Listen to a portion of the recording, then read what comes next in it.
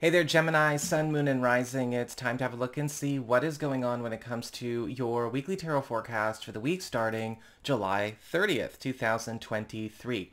Quick reminder, if you're watching your rising sign forecast, remember your rising sign is going to give you additional clarity as to how a great deal of your sun sign forecast is showing up, and your moon sign is giving you the less prominent, albeit still significant side story that's also playing out throughout the course of the week. If you ever want to get a session with me, go on ahead to my website, integrativemysticism.com, or follow the links in the down bar below.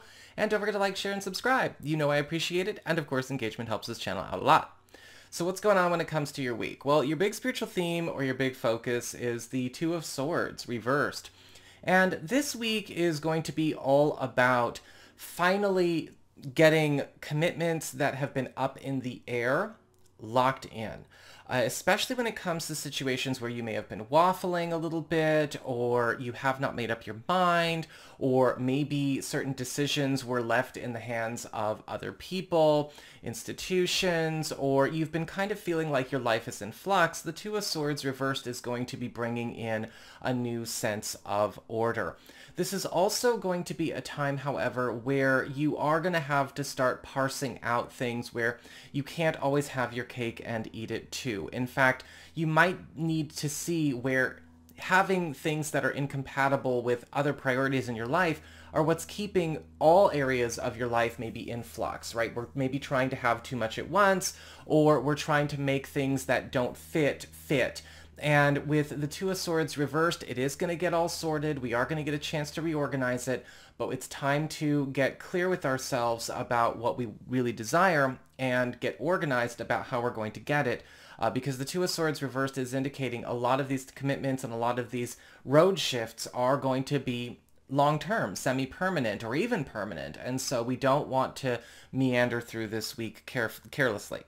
When it comes to material circumstances, your work, your job, your finances, practical affairs as it relates to your home and family life, you've got the Queen of Swords upright. And the Queen of Swords upright is always coming with answers, always coming with solutions to back you up. Now, the Queen of Swords is all about solving problems, eliminating blocks, and helping get people, again, into their best lane or onto their best path. This could be a problem solver opportunity with relation to maybe some kind of block, obligation, burden, or hindrance in a financial or professional matter, or maybe even something relating to an investment or a living situation. However, with the Queen of Swords, the solution is perfect, but it might be a bit tougher or heavier handed than you maybe wanted to implement. You've got to be okay with being tougher though this week because what this person is bringing to the table is the answer that maybe you've been looking for, even though it might not be coming in the way you've been looking for it. When it comes to your community, friends, relatives, and other people in your life, you've got the Two of Pentacles reversed. And the Two of Pentacles reversed can be very similar to the Two of Swords reversed because we are making space, we are seeing commitments getting made, and a lot of clutter, a lot of um, distractions, and a lot of problems are getting out of the way. With the Two of Pentacles reversed, you may be hearing something from an ally or from a friend or a relative or somebody close to you that has made a decision to drop something or walk away from something that has been highly problematic for them, but has also come between you working with them or being close to them in some way. Now, this could be a job change. This could be an association change. This could be them finally give, giving themselves more space, more time, more freedom. But it does also bring their connection and the work they can do with you much more uh, easily available and brings you guys closer. When it comes to your challenge this week, you've got the Knight of Pentacles reversed. And the Knight of Pentacles reversed is basically saying be careful about holding on to things just because you've been holding on to them for a while.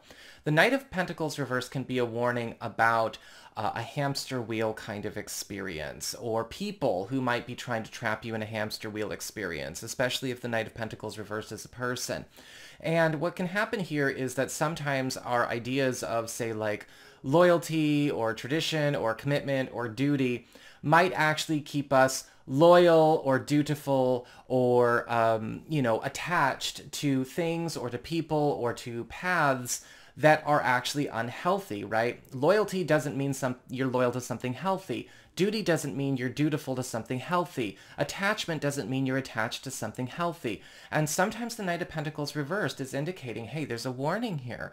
We need to make sure that we are not just giving our loyalty, our sense of duty or attachment away freely, and we don't need to leave it where, has, where it has been working against us at all. When it comes to your relationships with love, romance, and partnerships, you have the Five of Wands upright. Things seem to be getting pretty active here. Um, the Five of Wands is all about rivalry. It can be about conflict, it can be about competition, and it can also indicate quarreling at times. Now with the Five of Wands, it usually has to do with a debate about a future or debates about a path ahead. For those of you who are single or are available to new people, you may be having a situation like this go on with somebody that you meet this week right out the gate. Or you might be having this with somebody that you've been seeing or that you're interested in, but the relationship has not been codified yet. For those of you who are curious, yes, sometimes this can indicate a love rival showing up in the picture for those of you who are maybe seeing somebody casually or not officially yet. Um, whether or not they're officially a rival or not, but you know, that's up for debate, but that can happen. When it comes to those of you who are coupled or are married, the Five of Wands really has more to do with a, a, debate or even a quarrel or a conflict around who is getting to do what they want to do. Uh, what direction is the relationship going in? How are we running this thing? How are things going for us? Or maybe it's a fight about a certain person, right? A family member, a friend, a relative, an in-law. And, you know, what's the right way to be handling this particular topic? This may be something where we just need to get everything out in the open because holding back is not going to help us sort this. So, you know, just be prepared. It can be constructive. So that is what I've got for you all. I hope you enjoyed it. If you did, don't forget to like, share, and subscribe. You know I appreciate it. And should you ever want to get a session with me, you can go on ahead to my website. It's integrativemysticism.com.